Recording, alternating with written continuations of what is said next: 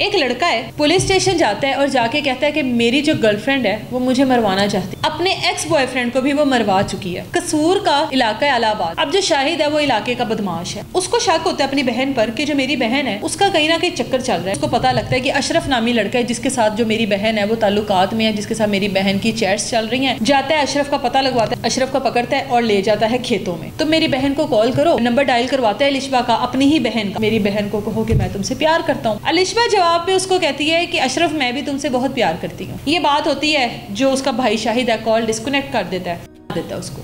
खेतों में कर फेंक देता है। इस पूरे वकुए में शाहिद ने न जाने से पहले और कितने लड़कों को होगा। अपनी बहन को एक बार नहीं समझाया, अपनी बहन को एक बार नहीं पूछा कि बहन ये सारे जो भी मामला थे इनको ख़त्म करो। किसी और की माओ की गोद को उजाड़ता रहा और अपने घर को छान कर नहीं देखा कि मैं सबसे पहले अपने घर को सुधारूं, बाद में मैं किसी और को टारगेट करूँ।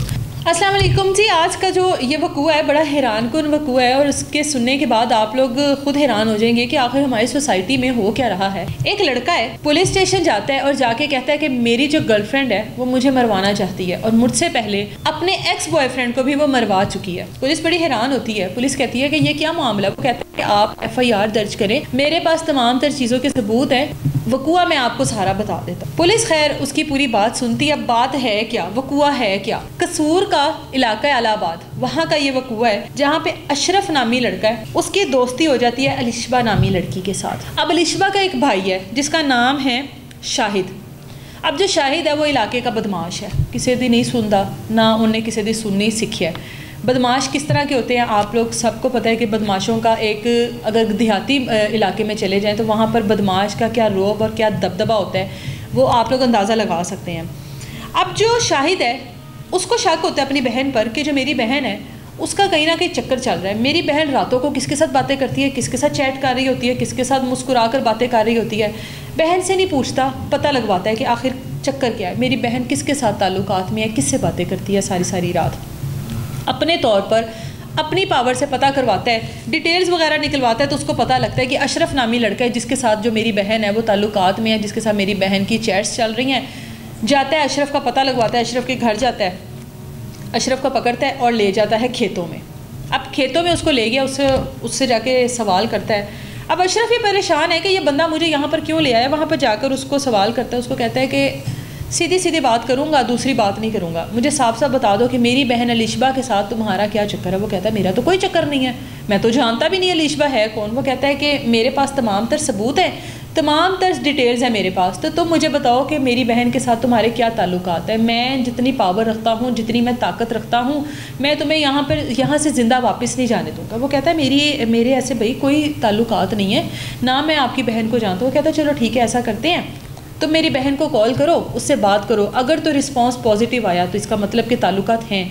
अगर रिस्पांस इस तरह का ना आया तो मैं समझ जाऊँगा, मैं तुम्हें यहाँ से जाने दूँगा। खैर, उसके नंबर से कॉल नंबर डायल करवाता है लिशबा का, अपनी ही बहन का। नंबर डायल करवाता है और उसको कहता है, मेरी बहन को कहो कि मैं तुमसे प्यार करता हूँ। अब जो अशरफ है, वो उसकी बहन को कॉल करता है और उसको कहता है कि अलिशबा मैं तुमसे बहुत प्यार करता हूँ। अब गन पॉइंट पर है, और कोई ऑप्शन नहीं है।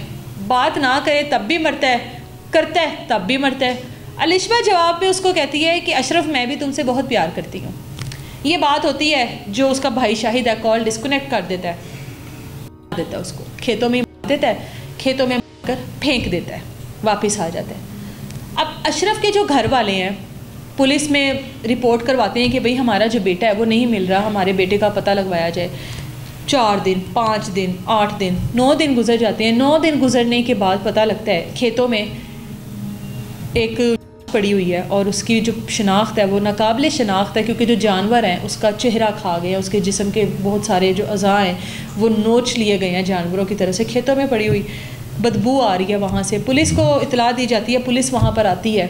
पुलिस आकर इन्वेस्टिगेशन करती है, सारा देखती है कि क्या मामला है, क्या नहीं। अब रिपोर्ट हुई हुई है गुमशुदा की, अशरफ की। उसके घर वालों को कॉल करती है, उसके घर वालों को बुलाती है और बताती है कि इस तरह से हम लोगों को एक मिली है, आप आकर देखें, इसकी शनाख्त करें।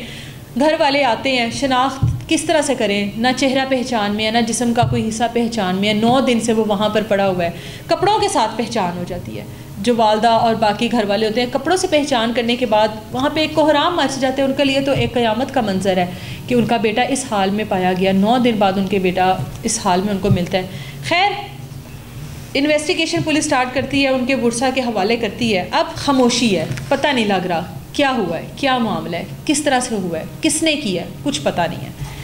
अब जो अलिशबा है, जिसको कॉल की गई, अब ज़ाहिर है उसके भाई को तो सुकून आ गया कि जिसके साथ मेरी बहन के ताल्लुकात थे उसको तो मैंने ख़त्म कर दिया। अब अलिशबा जो है, वो कुछ दिन इंतज़ार करती है। वो कहती है, मुझे अशरफ की कोई कॉल ही नहीं आई है। कुछ दिन गुजर जाते हैं, कुछ अर्सा गुजर जाता है। अलिशबा एक और लड़के में इन्वॉल्व हो जाती है। अब वो जो लड़का है, उसका नाम है फ़हीम। अब अलिशबा की फिर चैट शुरू हो गई है। अब अलिशबा फिर बातें करने लग गई है। अलिशबा की ज़िंदगी दोबारा उसी ट्रैक पर आ गई है। एक जवान लड़का दुनिया से चला गया। उस बारे में अलिशबा को कोई इल्म नहीं है कि वो सब कुछ मेरे भाई ने करवाया। मेरा भाई मुझ पर नज़र रखी बैठा है। मेरा भाई मेरी चीज़ों के ऊपर नज़र रखता है, जाँच पड़ताल करता है, वापस जाता है। उन लड़कों के साथ जिनसे मैं बात करती हूँ, उनके साथ क्या सलूक करता है। अलिशबा इन तमाम तर चीज़ों से ना इल्म है। अब फ़हीम के बारे में भी उसके भाई को शक हो जाता है। अब वो दोबारा डिटेल्स निकलवाता है, दोबारा पता लगवाता है कि मेरी बहन अब दोबारा किसी के साथ बात कर रही है। फ़हीम के घर पहुँच जाता है। फ़हीम को वहाँ से अगवा करता है और उसको ले जाता है छांगा मांगा के जंगलों में, घने जंगलों में ले जाता है। वही सेम दोबारा कहानी जो है, वही उसी तरह से फ़िल्म दोबारा चलाता है, उसको कहता है कि तुम्हारा मेरी बहन के साथ ताल्लुक़ है। वो कहता है, मैं आपकी बहन को जानता भी नहीं हूँ, मुझे तो पता ही नहीं। सेम वही स्टोरी जो है, वो दोबारा से रिपीट होती है। वो कहता है मैं इस तरह के बहुत सारे लड़कों को ख़त्म कर चुका हूँ, जो जो मेरी बहन के साथ इस तरह का ताल्लुक़ रखते हैं, जो जो मेरी बहन के साथ इस तरह का कोई, जो भी दोस्तियाँ रखते हैं। तो तुम्हारे लिए बेहतर यही है कि तुम बता दो अगर तुम्हें अपनी जान प्यारी है, वरना मार के मैं तुम्हें भी यहाँ पे फेंक दूँगा। वो कहता है कि मेरा आपकी बहन के साथ कोई ताल्लुक़ नहीं सेम वही उसको कहता है कॉल करो मेरी बहन को और उससे बात करो।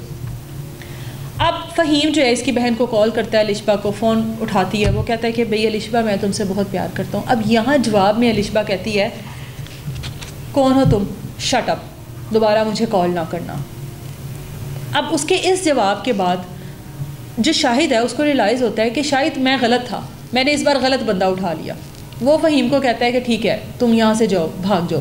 अब फ़हीम जो है, कांपती टांगों से, कांपते जिसम से एक मौत सामने खड़ी है, वो वहाँ से भागने की करता है, वहाँ से भागता है, घर आने के बजाय सीधा छांगा मांगा पुलिस स्टेशन चला जाता है। वहाँ पर जाकर पुलिस स्टेशन में जाकर बयान देता है कि भाई बंदा है शाहिद नामी, जिसने पहले भी इस तरह लड़कों को मारा है, उसने मेरे सामने कबूल किया है। अब वो मुझे मारने के घर से यहाँ पर लेकर आया था, मेरा उसकी बहन के साथ ऐसा कोई ताल्लुक नहीं है, नामजद एफ़ आई आर करवाता है और कहता है कि भाई इसको पकड़े।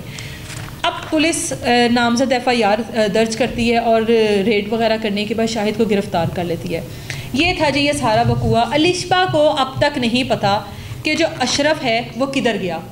उसके बाद अलिशबा को नहीं पता कि फ़हीम, जिसके साथ दोबारा मैंने एक और ताल्लुक़ अपना कायम किया था, वो किधर है। इस पूरे वकूए में शाहिद ने न जाने से पहले और कितने लड़कों को होगा। अपनी बहन को एक बार नहीं समझाया, अपनी बहन को एक बार नहीं पूछा कि बहन, ये सारे जो भी मामला हैं, इनको ख़त्म करो। किसी और की माओ की गोद को उजाड़ता रहा और अपने घर को छान कर नहीं देखा कि मैं सबसे पहले अपने घर को सुधारूं, बाद में मैं किसी और को टारगेट करूँ। ये ये सारा वकुआ था जो कि कसूर के इलाके में पेश आया।